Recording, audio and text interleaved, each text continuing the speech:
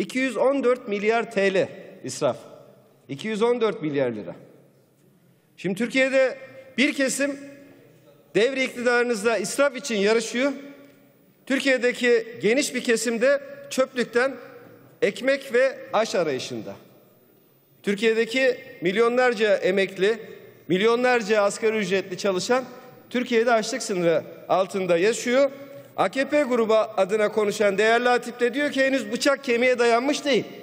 Bıçak kemiğe dayanmadıysa bu yaşadığımız tablo nedir? Bunun bir izahını yapmakla. Sayın milletvekilleri, israf konusu aslında bütün dünyanın meselesi. Bütün dünyada tartışılıyor bu. İsrafın önüne geçmek için batılı ülkeler yasal düzenlemeler çıkartmaya başladı. Ama bu konuda sizden hiçbir hareket yok. Ve şunu da üzülerek söylüyorum. Türkiye'de israf her geçen gün artıyor. Devri iktidarınızda israf her geçen gün artıyor. Türkiye'de 130 bin makam aracı var. Değerli milletvekilleri. Herhalde bunun birkaç bini saraya aittir. Onun da altını çizmek lazım ama 130 bin makam aracı var. İlçelerde müdürlerin makam araçları var. Eviyle müdürlük arasındaki mesafe 200 metre makam aracıyla gidiyor. Bundan daha büyük israf olur mu sayın milletvekilleri?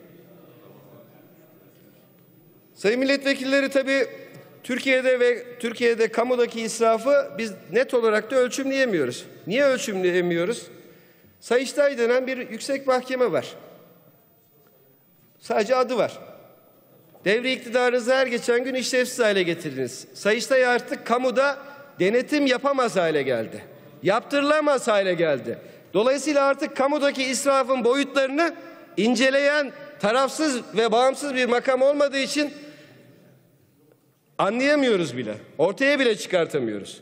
O anlamda şunu açıklıkla söylemeliyim bu bölümle ilgili. Kamuda israf bitmediği sürece Türkiye'de israf da bitmez. Kamuda israfın bitmesi lazım.